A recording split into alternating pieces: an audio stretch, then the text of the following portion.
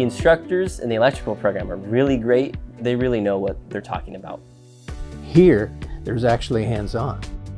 Each class is probably about five weeks long.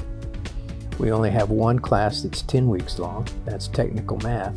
But of the classes that we have, we have conduit bending, we have blueprints, understanding how to read prints. They have residential wiring, commercial wiring, and industrial wiring. We have intro to PLC class and circuit analysis.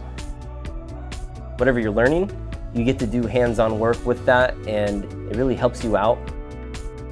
Honestly, all the hands-on demonstrations are pretty exciting in itself, like such as learning how to do pipe bending the right way and doing outlets and ceiling fans and lights installs. Also learning like the ins and outs of how to do panels. No matter what class or thing you're going to, you're never going to learn everything, but the courses here, they teach you and give you a little bit of everything so you have your foot in the door for anything career-wise.